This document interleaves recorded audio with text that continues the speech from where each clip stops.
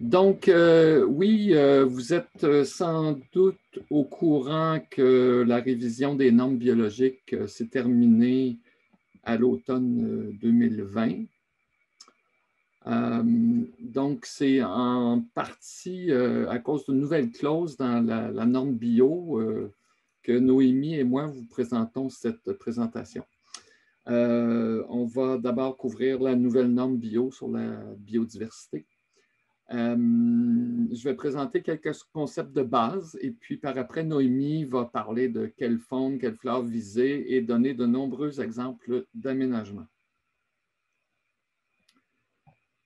Donc, euh, la révision des normes bio s'est terminée en décembre.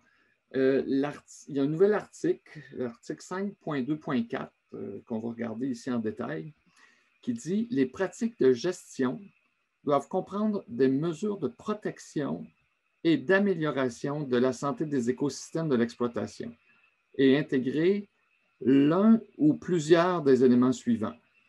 Donc, il y, a, a cinq points listés. A, l'habitat pour les pollinisateurs. B, des bandes fleuries. C, l'habitat faunique. D, maintien ou restauration des rives ou des milieux humides et E, qui est plus général, ou toute autre mesure pour promouvoir la biodiversité. Il y a aussi une petite note qui accompagne la, clause. Les notes, euh, c'est pas, euh, comment dire, ça ne fait pas partie de la norme, mais euh, qui indique que les habitats existants dans les prairies, terres humides ou forêts parcs naturels devaient être préservés et améliorés chaque fois que cela est possible. Ça, ça concerne plutôt des zones naturelles, mais quand on va dans l'Ouest canadien, par exemple, il peut y avoir des prairies font partie des, terres euh, fédérales qui sont accessibles. Ou, euh, voilà. Donc, euh, qu'est-ce que ça veut dire, cette nouvelle norme en pratique? En pratique, c'est que vous avez une année pour vous y conformer. Donc, pour la saison 2022. En principe, pour la, la saison 2021, un certificateur pourrait vous poser des questions là-dessus, mais vous n'avez pas à, à vous y conformer. Donc, c'est vraiment pour la prochaine la, saison 2022. Ça implique d'ajouter une section mesures de protection et d'amélioration de la biodiversité à votre plan de gestion de la ferme. Et puis, idéalement, de réaliser ce que vous allez mettre dans votre plan. Je voudrais euh, couvrir quelques concepts de base. Je pense que tout le monde est assez familier avec le terme de biodiversité. Euh, on parle de diversité d'espèces animales et végétales. Ça comprend un grand nombre d'espèces. Peut-être qu'on est moins familier avec l'idée de biodiversité fonctionnelle, c'est-à-dire la biodiversité euh, fonctionnelle désigne l'ensemble des espèces qui contribuent à des services écosystémiques dans un agroécosystème. En gros, en simple, c'est autrement dit, c'est la biodiversité utile aux agriculteurs. Donc, quant à mettre des énergies à conserver ou améliorer la biodiversité sur la ferme, faisant en sorte que ce soit des, euh, des espèces utiles euh, aussi. Je voudrais aussi couvrir le, la notion d'écotone. Un écotone, c'est une zone de transition entre deux écosystèmes où les conditions d'environnement sont souvent intermédiaires. C'est en général les zones les plus riches en biodiversité. Et il y en a déjà naturellement présentes euh, sur les fermes, des, écotones. Ça peut même être un chemin de ferme, des fossés, des bandes riveraines, des bords de boisés, des brise-vents, les bords d'étang, des friches. Alors, ce sont des exemples d'écotones. Aussi, euh, peut-être distinguer la protection et l'aménagement. Donc, comme je le disais, vous avez déjà des zones de biodiversité sur vos fermes suffit d'abord de les protéger et surtout de ne pas chercher à les éliminer. L'étape supplémentaire, c'est de faire des aménagements pour améliorer la santé des écosystèmes. Et puis, euh, règle générale, euh, surtout quand on parle de la faune, euh, petits et grands animaux ont besoin d'abri, d'eau et de nourriture. Alors, après ces quelques concepts de base, je vais, vous, je vais passer la parole à Noémie. Je vais sortir de ma présentation. Voilà, et je te laisse la parole, Noémie.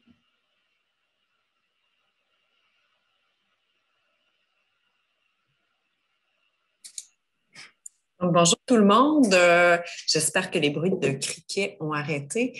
Euh, donc, je vais vous parler, moi, d'abord, de quelle faune on vise. Donc, c'est quoi exactement cette faune auxiliaire? Donc, on parle euh, de différents groupes, soit d'abord les prédateurs, ça va être des organismes qui se nourrissent d'insectes ou d'autres animaux ravageurs de culture. Euh, on parle de reptiles, d'amphibiens, euh, d'oiseaux, dont une majorité de passeront en période de reproduction. Donc, les petits oiseaux chanteurs vont se nourrir d'insectes, euh, également de rapaces, donc pour, euh, pour éliminer, entre autres, les rongeurs. On pense aux mammifères également, comme la chauve-souris. La chauve-souris se nourrit de beaucoup d'insectes nuisibles en agriculture, donc ce qui est tordeuse, noctuelle, pyrale. Donc, c'est extrêmement intéressant de les avoir sur nos sites et plusieurs insectes et araignées.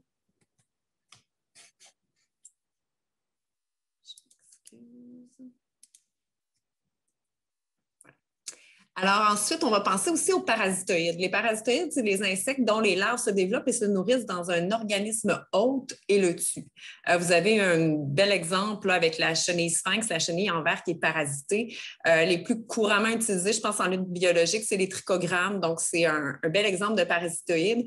Et il y en a naturellement sur vos sites. Vous pouvez euh, favoriser leur présence en leur offrant des sources de nectar et de pollen via les fleurs parce qu'elles en ont besoin à différents stades de, leur vie.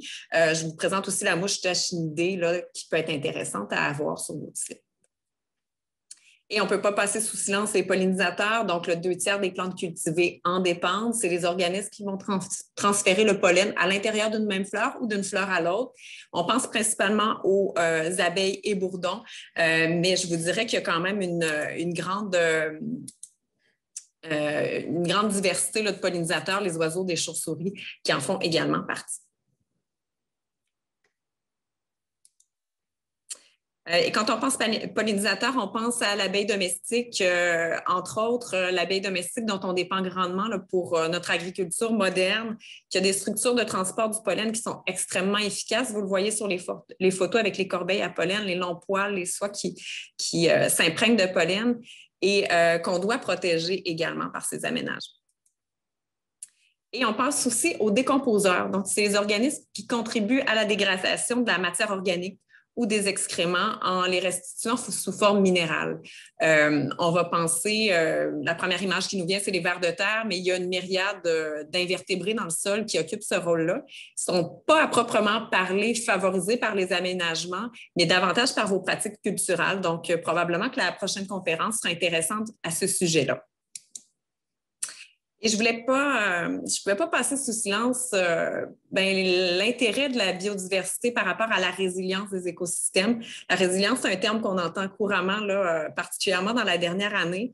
puis il faut d'abord prendre conscience que la principale cause du déclin de la biodiversité, c'est la perte ou la, la détérioration des habitats, qui est soit due à l'agriculture, la déforestation ou l'urbanisation.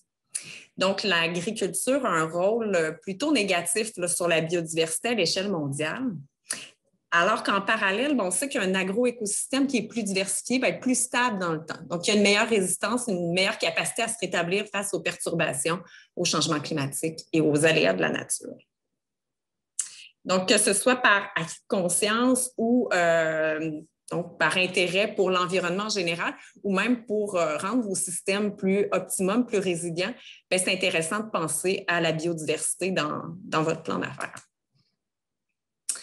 Et voilà quelques exemples d'aménagement. Ben, Jean m'a mentionné brièvement tantôt, euh, mais vous avez probablement sur vos sites des, zones d'intérêt pour la biodiversité qui sont déjà euh, présents et qu'il ne suffit que de protéger. Donc, il faut d'abord en prendre conscience, euh, ouvrir nos horizons, puis essayer de voir ce qu'il y a déjà du potentiel sur vos sites. ça peut être des zones en friche, des bouts de champs ou des bords de champs qu'on laisse fleurir. Donc, naturellement, il y a sûrement déjà des choses très, très intéressantes sur vos sites. Et là, je vous présente des aménagements à, proprement parler. Donc, euh, je vais du plus simple vers des choses un petit peu plus complexes, vous allez le voir. Euh, il y en a pour tous les goûts, tous les budgets. Donc, euh, d'abord, des nichoirs d'oiseaux et de chauves-souris. Donc, c'est vraiment des, alliés précieux et en, leur offrant des nichoirs, donc plusieurs espèces qui vont, qui vont nicher dans ce, ce type d'abri-là, vous pouvez permettre leur présence sur le site tout au long de l'année. Donc, ils sont là très tôt au printemps. Euh, certaines espèces qui vont rester à l'année aussi. Donc, ça peut être intéressant et peu coûteux à installer. Je vous ai mis quelques liens à travers la présentation pour aller un petit peu plus loin, car je ne fais qu'effleurer le sujet. On pense aussi aux hôtels insectes. Euh, bon, c'est beau. Euh, on a envie de, bricoler avec les enfants. C'est un beau projet. Euh, c'est relativement efficace aussi. Donc, c'est vraiment des petits casiers où on couvre une multitude d'exemples de, en fait, d'une diversité de lieux de nidification pour, euh, pour principalement des abeilles, mais aussi d'autres insectes, dont les coccinelles. Euh, faites seulement attention. oui, c'est des beaux projets, puis il y a plusieurs plans en ligne pour trouver de l'information, mais il faut bien l'entretenir parce que les risques de transmission de maladies sont assez élevés et ben, on ne veut pas en faire un cimetière, on veut, on veut que ce soit profitable pour la biodiversité. Sinon, localement, ce qui est souvent plus efficace, c'est d'avoir euh, des sites d'hivernement naturels via euh, plusieurs euh, arbustes et herbacées qui ont des, tiges creuses comme le sureau, le sumac vinaigrier, les framboisiers. si vous pouvez les laisser à leur état naturel ou encore si vous avez à faire des, des forges, ben, essayez de garder des tiges entre 20 et 60 cm pour favoriser la nidification des abeilles. Également, des, ondes de sol à nu qui sont non perturbées vont être favorables pour certaines euh, espèces terricoles. On le voit euh, sur la photo, là, après, euh, juste à côté de plants d'haricots. Donc, c'est vraiment de protéger ces, zones-là. souvent, la période de nidification est quand même assez courte. Donc, c'est juste de, limiter les, les interventions dans ces secteurs-là. L'utilisation de taillis de feuilles ou de tas de paille, euh, c'est extrêmement intéressant aussi pour beaucoup d'insectes bénéfiques. Les araignées vont particulièrement aimer la paille. Vous allez retrouver aussi plusieurs carabes qui aiment l'humidité des feuilles mortes, également des crapauds qui peuvent être intéressants euh, à conserver sur le site par ces pratiques-là. Monticules de roches qui vont servir d'abri pour les crapauds et les reptiles. Donc, vous ne savez plus quoi en faire de vos roches vous pouvez les mettre dans une zone protégée en bout de champ où, euh, les, crapauds, les reptiles vont pouvoir euh, nicher euh, en toute quiétude. Un peu la même chose avec les amoncellements de branches, donc installés en bordure d'un boisé ou d'un arbre, vont servir de zone de refuge d'hivernement pour des insectes, des oiseaux, des petits mammifères, selon la grosseur des branches que vous allez mettre et les, espaces disponibles pour eux. Sinon, on n'y pense pas assez, je pense, mais le bois mort et les chicots sont extrêmement intéressants euh, sur vos sites. Euh, ils sont essentiels à plusieurs organismes qui sont décomposeurs, qui se nourrissent de bois euh, et ils vont servir de refuge pour vos auxiliaires et également de plantes réservoirs d'une certaine façon parce que quand les populations de ravageurs chutent dans vos cultures, bien, il y a plusieurs oiseaux qui vont pouvoir se réfugier et s'alimenter à partir de, ces, de ce bois mort. Donc, c'est extrêmement intéressant à conserver sur vos sites.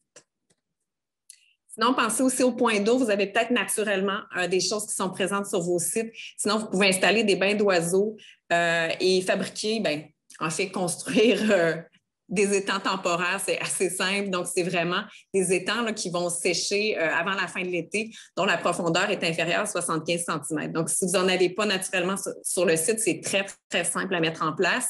Euh, je vous ai mis des liens encore là vers ça. Mais faites attention à la contamination lors de traitement. Donc, encore là, on ne veut pas que ça devienne euh, un cimetière. On veut que ce soit un lieu propice à la reproduction des grenouilles, des crapauds, des salamandres, entre autres choses, mais de plusieurs insectes qui ont des stades larvaires aquatiques.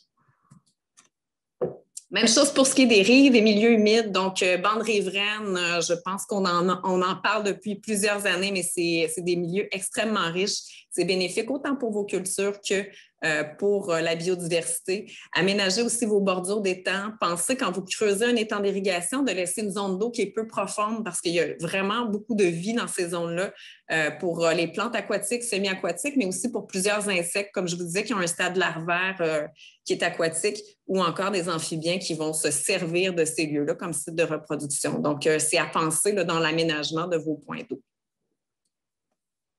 Non, ébrisement, ben, euh, l'objectif ultime, c'est de diminuer l'érosion par le vent, mais par le fait même, ça crée un microclimat et un écotone euh, dont Jean vous parlait qui est favorable à la biodiversité. C'est une zone de refuge pour une multitude d'auxiliaires. Donc, c'est des milieux extrêmement intéressants. Et vous pouvez les bonifier pour en faire une source de pollen aussi intéressante en y intégrant des euh, érables, tilleuls, saules, bouleaux, chênes ou arbres fruitiers qui sont des bonnes sources de pollen pour, euh, et souvent des sources qui arrivent très, très tôt, donc avant, avant plusieurs arbustes. Donc, c'est extrêmement intéressant de les avoir dans vos aménagements. Et pour faire euh, la ébrisement ultime, ben, intégrez-y également des arbustes à fruits et des herbacées euh, fleuries, euh, qui va faire vraiment une émultistrate qui va être très bénéfique pour une majorité d'auxiliaires. je vous présente quelques arbustes intéressants, là, sureau, viorne, aronie, chèvrefeuille, rudbeckie, monarde, astère, zizia pour ce qui est des herbacées. Donc, il y a vraiment plusieurs plantes qui peuvent être d'intérêt selon les cultures que vous avez en place également. Et finalement, ben, je vous parle plus particulièrement des bandes florales, donc euh, bandes florales qui servent de nourriture de refuge et de site de reproduction pour les insectes. Donc, ils, remplissent tous les mandats euh, pour les garder sur place. Ce qu'on veut euh, pour une bande florale réussie, c'est une floraison qui va être abondante et continue toute la saison. Donc, vous voyez dans le diagramme suivant, c'est une liste d'une dizaine d'espèces florales différentes qu'on a intégrées dans nos aménagements au verger du Boisé des Frères, un site où je travaille au CETAB. Et euh, ce qu'on veut, c'est vraiment un calendrier de floraison qui est étalé toute la saison. Donc, il n'y a pas de creux. Les floraisons chevauchent de sorte qu'on maintient en place nos auxiliaires toute la saison. Et qu'est-ce qui fait qu'on va choisir une plante plus qu'une autre? Pourquoi on, de, quoi se compose notre bande florale? Il y a différents euh, éléments qu'on va regarder. D'abord, on va regarder l'abondance et la composition nutritionnelle euh, du, pollen et du nectar. Euh, donc, il y a certaines plantes qui vont être plus attirantes que d'autres, qui, qui ont plus de pollen, dont la composition, qui sont plus nutritives pour les abeilles. Et vous avez des guides super intéressants pour, comme point de départ. Donc, là, je vous présente un guide du CRAC il y en a d'autres, euh, mais ça peut être un bon point de départ pour choisir vos plantes euh, à intégrer aux aménagements fleuris. On veut aussi que cette source de nourriture-là soit disponible dans le temps. Donc, des plantes qui vont avoir une longue floraison sont vraiment intéressantes ou une floraison à des moments où il n'y a pas beaucoup de choix euh, sur votre entreprise autre que, la bande fleurie. Donc, il faut s'assurer de répondre à leurs besoins en tout temps. On peut même intégrer des plantes annuelles comme la maritime qui fleurit très, très longtemps dans la saison. Euh, pour euh, combler les trous et s'assurer qu'il y a vraiment une disponibilité de la source euh, de nourriture durant toute la saison.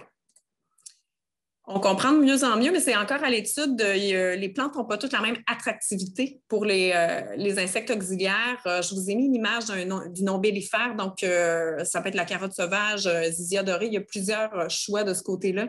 Mais les ombellifères ont vraiment une forme qui est qui, est très attractif. Donc, c'est des gros pompons visuellement, c'est facile à voir pour les insectes. Euh, c'est également très facile de s'y poser. Donc, c'est vraiment une piste d'atterrissage idéale pour les insectes. Les nectaires sont facilement accessibles également. Donc, c'est des plantes qui sont très attractives et intéressantes à intégrer à vos aménagements. Et euh, l'image où vous voyez euh, la fleur en jaune et en bleu dessous, mais c'est la même fleur. Euh, en jaune, c'est ce que l'œil humain voit et en bleu, c'est ce que les insectes, eux, peuvent voir parce qu'ils voient à différentes longueurs d'onde que nous. Et donc, euh, on comprend de mieux en mieux que les fleurs qui sont attractives pour les insectes, qui souvent leur envoient des signaux clairs. Euh, donc, c'est un peu ce que, ce que la fleur euh, fait là, en bleu en bas. Donc, elle lui dit, ben, c'est au centre, c'est ici que, que se, déroule le, le, banquet. Donc, voilà, c'est ce qu'on comprend de mieux en mieux et qu'on continue à étudier. Il y a aussi l'accessibilité de cette source de nectar ou de pollen. Donc, euh, il, y a, des plantes qui vont produire du nectar euh, extra-floral. Euh, vous le voyez sur la tige là, où perlent des petites gouttes de nectar. Donc, ça permet à beaucoup plus d'insectes d'avoir accès, alors que certaines plantes vont se spécialiser. vous avez un exemple en, bas, là, donc ça va être des insectes qui ont une longue trompe qui vont pouvoir accéder au nectar, aux ressources. Et euh, ben, c'est des stratégies de reproduction différentes, mais c'est intéressant de le réfléchir dans notre aménagement pour être sûr d'attirer euh, les bonnes choses au bon endroit.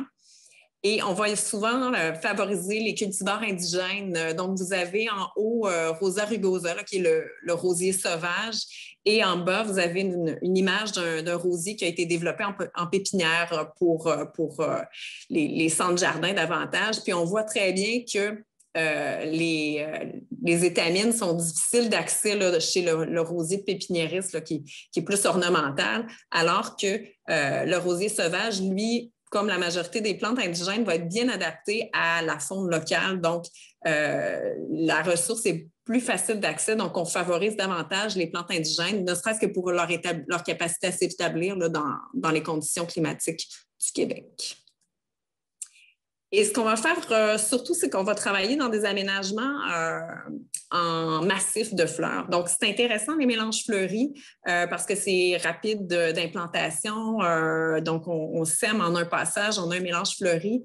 Mais pour ce qui est de, leur efficacité, disons que ce n'est pas nécessairement toujours l'aménagement optimum. Donc, on va travailler davantage en, en massif de fleurs parce que visuellement, c'est plus facile à repérer pour les auxiliaires et euh, ça vaut aussi plus la peine pour eux euh, d'y aller. C'est dans le sens où euh, lorsqu'on a quatre, cinq fleurs dans un champ, ben, c'est intéressant, mais lorsqu'on en a une centaine regroupées, ça l'est beaucoup plus et ça vaut beaucoup plus le risque d'aller vers cette source alimentaire-là. Donc, on, on, favorise vraiment dans la littérature de plus en plus de travailler en massif de fleurs, donc regrouper les fleurs d'une même espèce ensemble.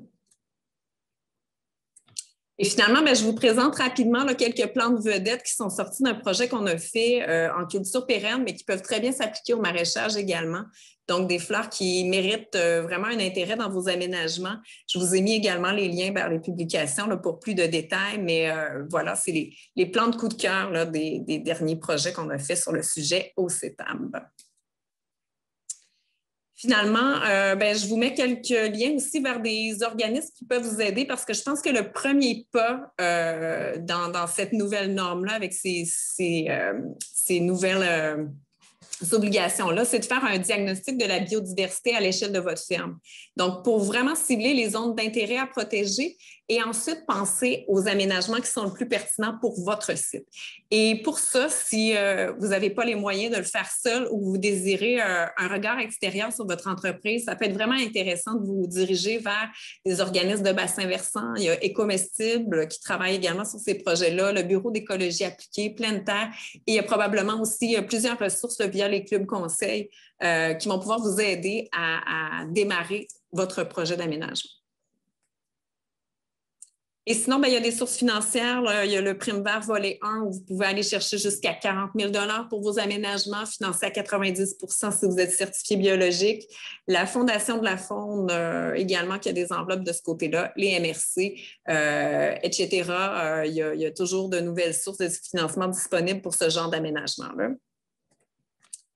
Et euh, si je peux faire une brève conclusion, la nouvelle norme répond à une tendance mondiale de préoccupation pour la, biodiversité. Je pense que l'agriculture, dans sa, position euh, quand même assez dominante à l'échelle de la, planète, ne peut y échapper.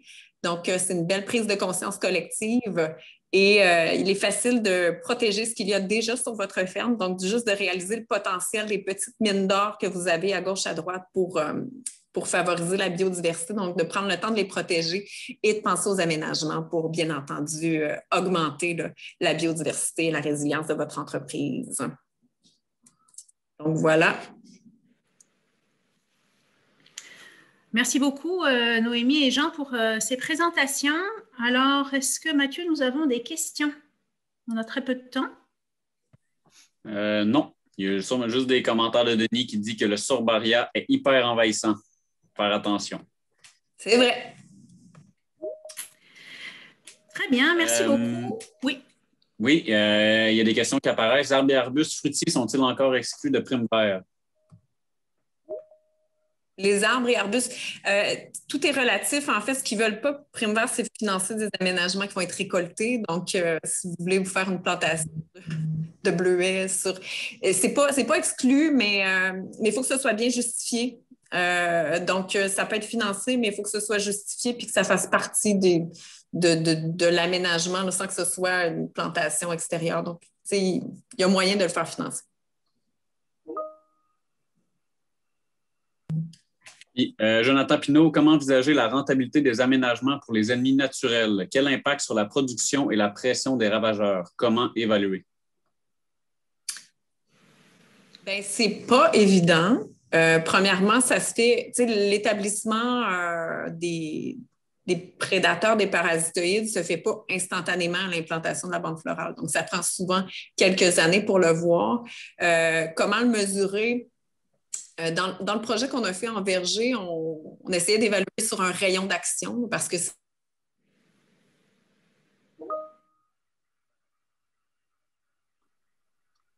Noémie, pardon, Noémie, tu es sur muet. Ah, je ne sais pas pourquoi je suis. Vous m'entendez? Oui. Oui, c'est parfait, merci. OK. Donc, euh, ce que je disais, c'est euh, ben, c'est pas évident. Euh, je ne sais pas où ça a coupé, là, mais ce n'est pas évident d'évaluer. Euh, souvent, ce qu'on va faire, c'est qu'on va évaluer comme un rayon d'action de la bande florale dans les projets pour voir jusqu'où euh, les, auxiliaires qu'on attire par la bande vont se rendre dans la culture. Euh, mais voilà, c'est pas, c'est pas instantané. Là. n'est pas dès l'implantation qu'on va voir une augmentation massive des, prédateurs et des parasitoïdes. Souvent, ça va prendre un peu de temps avant qu'ils s'installent sur le site. Donc, ça a des retombées sur la culture, mais c'est c'est pas évident à mesurer, toujours. J'ajouterais que il y a l'approche des petits marteaux en agriculture biologique, c'est-à-dire que c'est l'addition de plusieurs petites choses, vu qu'on n'a pas des, des, outils nécessairement aussi euh, radicaux. Euh, alors, c'est l'addition de petites choses qui vont faire qu'on va baisser la pression des ravageurs. Puis, pour ce qui est des prédateurs et parasitoïdes, ben, ça, les aménagements aident, mais c'est sûr qu'ils ne vont pas régler nos problèmes à eux seuls, ni les nichoirs à oiseaux insectivores, mais ça aide. Je pense qu'il faut plutôt le voir comme ça. Alors, de démontrer l'effet économique, euh, c'est plus difficile.